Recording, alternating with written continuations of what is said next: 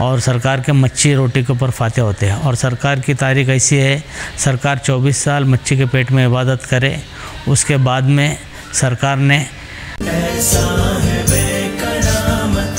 बना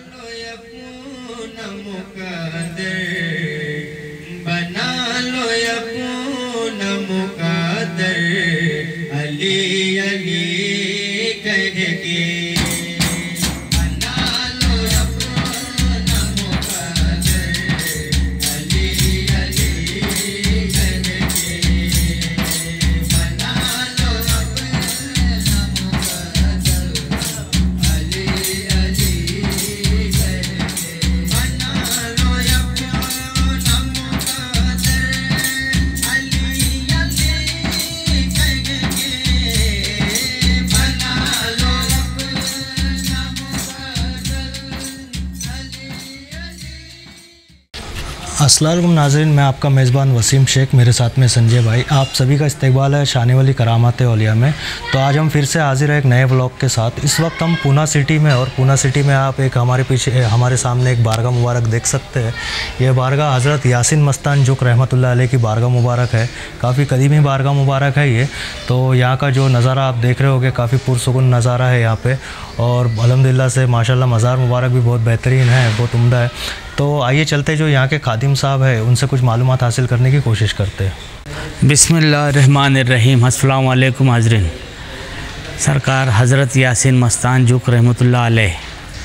सरकार पूना के मशहूर और मरूफ दरबार में से एक दरबार है, जो पूना की मेन सिटी में आता है गुल टेकड़ी मार्केट यार्ड में।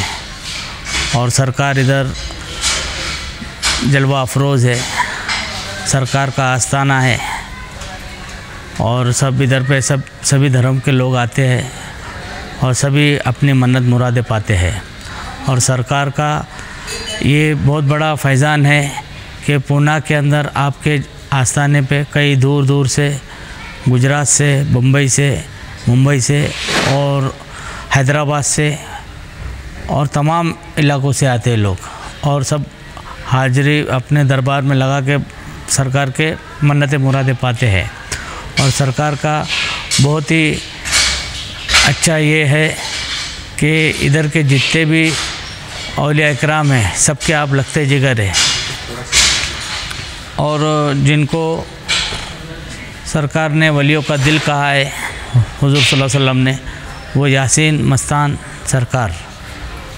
पे, पहले पेशवा के टाइम पे आप आए हैं और आपके दो खलीफा है। सामने एक जो मज़ार आपको दिख रही है, ये इनके पहले खलीफा है, हज़रत बाबा मस्तान। इन्हीं के हाल में से हम हैं।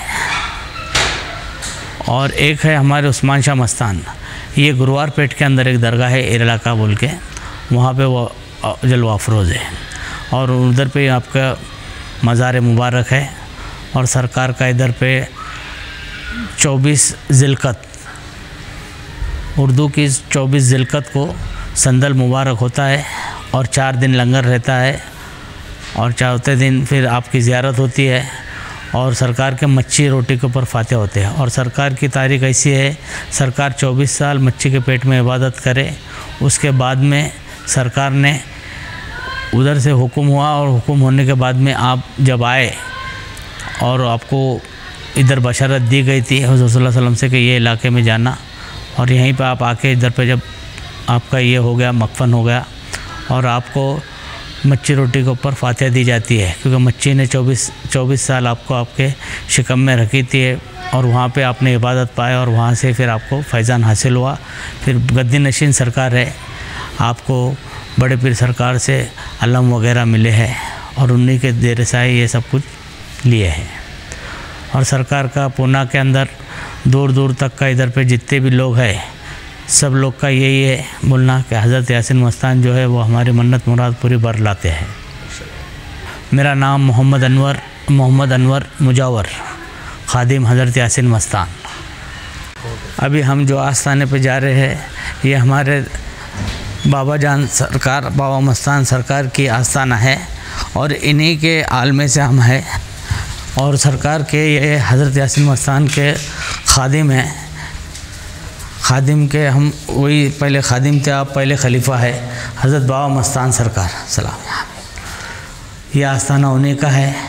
आपने बाबा हज़रत यासिन मस्तान के इधर खिदमत की और सरकार ने आपको खलीफा किया और आपने इनको जानशीन बनाया। और हज़रत के एक और खलीफा है, जिनका नाम है हज़रत उस्मान शाह मस्तान।